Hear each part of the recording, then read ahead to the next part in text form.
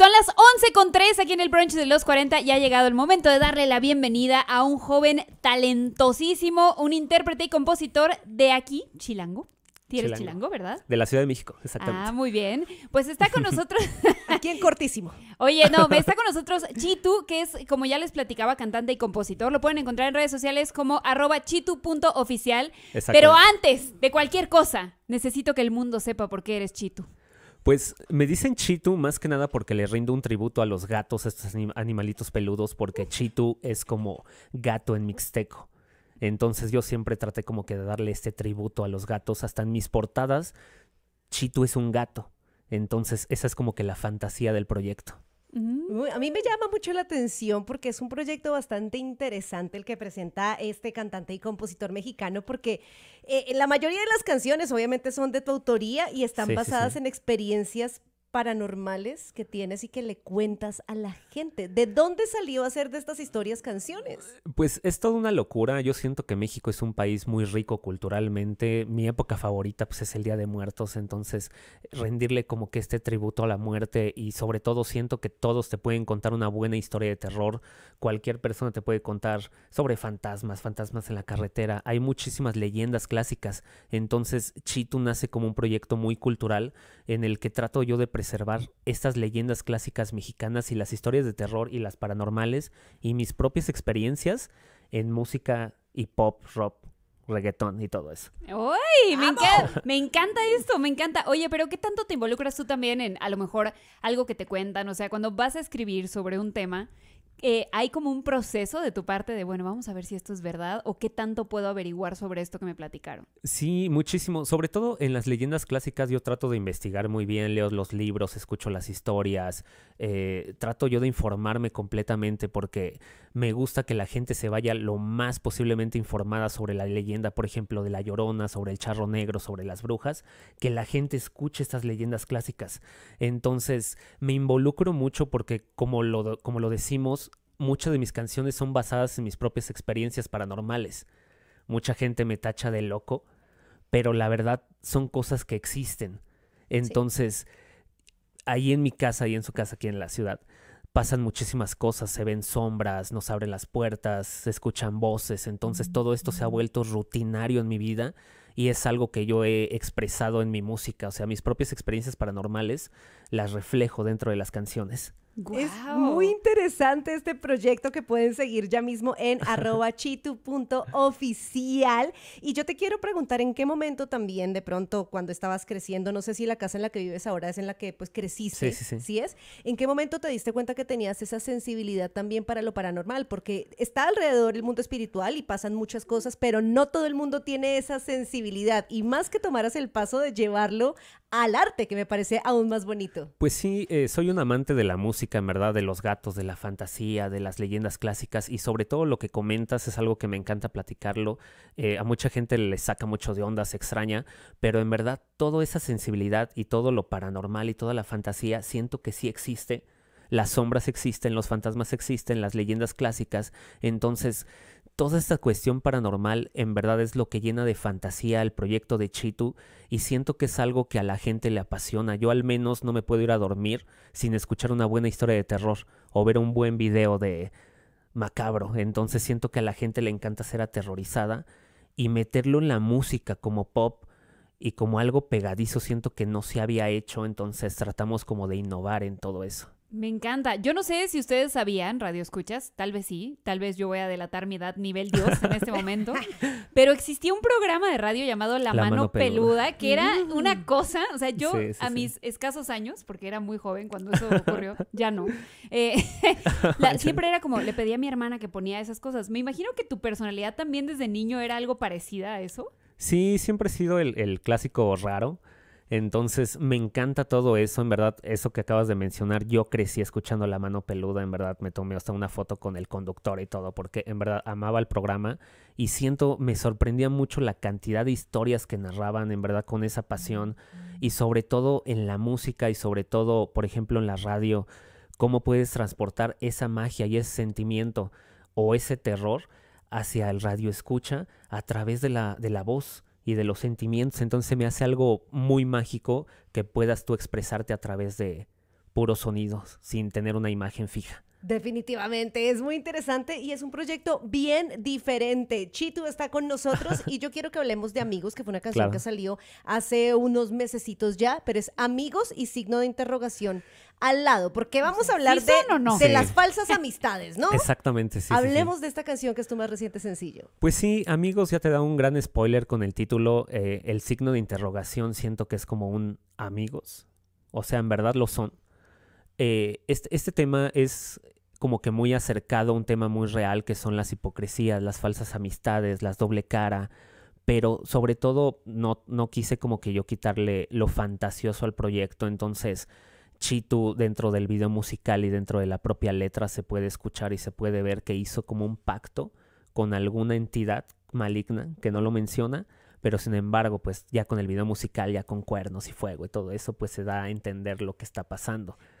Entonces, yo traté como que de meter esta, esta fantasía y este misterio junto con este tema real de las hipocresías y las falsas amistades y siento que le llegó a las personas correctas y siento que la gente la está dedicando a esa persona especial que sin decir su nombre se la puedes dedicar. Entonces, nos está yendo muy bien con amigos. Todos tenemos uno así. Sí. No sugiero que vayan y digan, oye, te dedico esta canción, porque no sabemos el resultado, pero Sí, sí, no, la pueden dedicar en sus corazones y en su mente. Oye, Chito, pero eh, me imagino que también debe ser para ti Guillermo López Fuentes, ese es el nombre eh, real. Exactamente. Eh, nadie te dice así, me imagino. ¿no? No, gracias por revelar mi nombre. ¿Qué? aire, ¿No podía? no, sí. No, perdón, pero me imagino que, que- que también eh, para ti es casi un sueño hecho realidad poder plasmar en imagen al mismo tiempo que en música estas cosas, porque los videos al final son un poquito eso, ¿no? Sí, yo estudié comunicación social ahí en la UAM. En verdad, uno de mis mayores sueños era ser locutor de radio. Entonces, Ay, estar aquí en la cabina de los 40, en verdad, es algo totalmente mágico. Eh, entonces, trato yo como que de reflejar todo esto en la música. Yo la primera vez que entré a una cabina de radio y me escuché y vi toda esta magia que se podía hacer a través de la voz, fue algo como de, oye, tenemos que hacer algo con la música y sobre todo conservar las leyendas clásicas y rendirle un tributo a los gatos y hacer esto y quitarte como esa espinita de a quién le va a gustar. Siento que es algo que tienes que hacer porque, por ejemplo, no a todos les va a gustar, pero inténtalo. Es algo que yo les podría recomendar a la gente que se quiere dedicar a, a la música. Qué A todo en general. Es un proyecto muy interesante, muy diferente a todo lo que pues hemos conocido. Está con nosotros Chitu, quien pueden encontrar en arroba chitu.oficial. Chitu, chitu. Óyeme, Chitu, yo te quería preguntar porque además el tema visual es muy interesante, obviamente orientado a los gatos. Sí, sí, sí. ¿Quién diseña las portadas? Porque son ilustraciones muy, muy, muy bonitas que en serio corran a verlas en arroba chitu.oficial. Sí, es un amigo que espero esté escuchando el programa, se llama Ricardo, y en verdad yo le he puesto unos retos impresionantes y en verdad no se lo pueden creer porque es un chavito como de 14, 15 años que en verdad diseña como, como un loco, en verdad yo le he dicho, ¿sabes qué? Quiero ahora un vampiro, pero que sea un gato. Ahora quiero una sirena que sea un gato. Ahora quiero a Santa Claus en gato. Entonces, Ah, yo no sé si, si le gustan estos retos, pero nunca me ha dado queja y la verdad se super rifa en las portadas y, y es como que la identidad visual de Chito, como que algo muy, como de cómic, como de cómic, pero eh, es lo que le da la identidad a las portadas y lo que nos diferencia un poco de los demás proyectos de que siempre es el gato. De hecho, el proyecto no iba a tener una cara en sí, pero era necesario salir en los videos musicales, entonces fue lo que, lo que se aplicó. Claro que sí, pues es que las portadas de las diferentes canciones como Infierno, Hechizo. Frío están increíbles. Chitu, quédate con nosotros Claro un sí. momento más, por Perfecto, favor. Queremos seguir conversando contigo, obviamente para contenido especial, Excelente. específico en Spotify para que ustedes no se lo pierdan en nuestro podcast. ¿Y con qué nos vamos, Gaby? ¿Qué Nos vamos a ir con música aquí en el brunch de los 40, una de mis favoritas, Billie Eilish. Esto se llama Lunch. Ya volvemos, no le cambies. Justamente seguimos con Chitu, que es un cantante y compositor mexicano. Ya no voy a volver a revelar su nombre porque me regaña. y a quien pueden encontrar en arroba chitu.oficial. Eh, ya veníamos platicando un poco sobre encontrar este género, sobre las leyendas, sobre lo místico, sobre lo sobrenatural. ¿Cuándo fue tu primer acercamiento con esto? O sea, ¿te acuerdas en qué momento de tu vida, no sé, o sea, dijiste, oh, esto puede que sí sea real?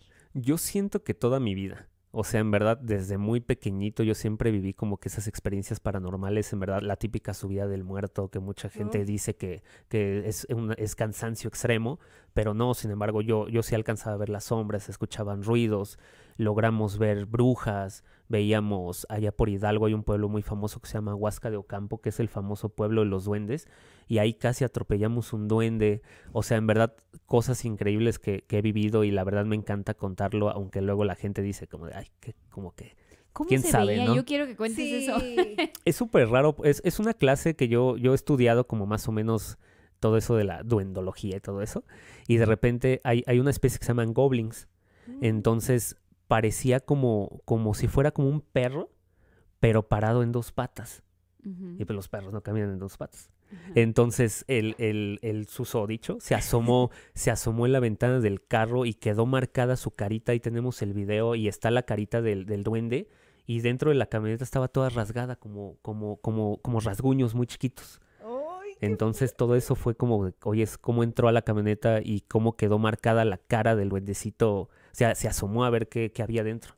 Qué loco. Qué historia increíble, Chito, contándonos, pues obviamente de dónde viene como todo ese bagaje paranormal, pero a mí me da mucha curiosidad preguntarte por tus influencias musicales, lo que te ha formado alrededor de toda tu vida y que has decidido como poner como inspiración y obviamente dándole tu propio estilo, tu propio sonido, pero que ha como sido la base para que Chito sea un proyecto musical. Pues Chitu, Chitu es un, es un chavo que escucha mucha música. Yo siento que, que la música es lo más similar a la magia en la vida real por, por lo mismo que mencionamos de que te, te puede transportar, te llegan olores, ves paisajes, colores. Es algo increíble lo que es la música y sobre todo mis principales inspiraciones. Yo tengo 26 años.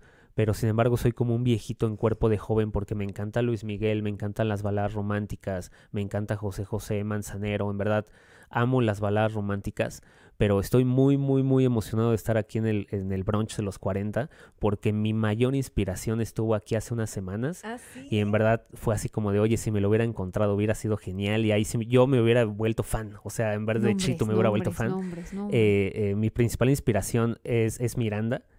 Y la verdad, sí. Son unos, son unos masters, son unos maestros, en verdad, este Ale Sergi, en verdad, es, es mi maestro. Yo cada vez que lo veo así le doy, le doy like y todo. Me vuelvo fan en vez de Chito, porque es un, es un maestro, en verdad, en lo que hace ese, ese chavo. Es una, es, bueno, chavo, ya. ese chavo. Ya ese, ese Somos chavo cha- de cincuenta y tantos años. ¿no? Pero en verdad es una, es una rocuela humana, es un, es un maestro y en verdad yo crecí escuchando Miranda y es, es como una de mis principales inspiraciones y una meta a seguir y una meta de alguna colaboración algún día. Qué Debo confesar que esto es algo que yo también he confesado aquí, ¿verdad? Yo también soy súper fan de Es que Miranda. sí. Justo ese día no estaba en el brunch de los 40. Ay. si tú crees que no me dolió, por supuesto que No, me dolió, sí. pero me encanta que, que o, o sea, que también tú no dejes de admirar gente a pesar de estar construyendo tu carrera, porque creo que eso a ti también te abre la posibilidad de, de seguir creciendo y seguir aprendiendo de otras personas. Justamente hablando un poco de estas historias que nos cuentas, me imagino que también ya cuando la gente te asocia con lo que te asocia hoy, pues vienen y te cuentan sus propias historias. ¿no? Sí, es muy chistoso porque de repente en, en mis mensajes de, de mi bandeja de, de- de Instagram y de Face están historias paranormales. O sea, es así como que de repente, oye, a mí se me apareció esto, o, o me piden mucho ahora las famosas. Te digo que yo soy un viejito en cuerpo de joven, de me piden de repente unas cosas que se llaman creepypastas, Ah, sí. y, y son como que las leyendas de, de la chaviza, ¿no? Ahora, entonces, eh, yo no pasaba de la llorona, del charro negro, de las brujas, de los pactos, pero de repente me empezaron a decir, oye, hazte una sobre, sobre Jack el asesino, ¿no? O hazte una sobre esta creepypasta de un doctor, y digo. Yo sí, yo sí soy súper abierto y sí les comento como de voy a investigar del tema y voy a tratar de hacerlo. Sin embargo, desconozco totalmente las creepypastas, pero está muy padre de que se esté creando como que una nueva cultura y como una nueva, unas nuevas leyendas clásicas eh, y porque la gente en verdad lo transporta a la realidad y lo hacen tan real que dices, puede ser que exista. Entonces es, es mágico lo que está pasando. Ah, es mágico y qué bonito ver también que estás generando una comunidad Sí. en la que se comparten estos temas, en los que se traducen en música, en los que se pueden convertir en canciones.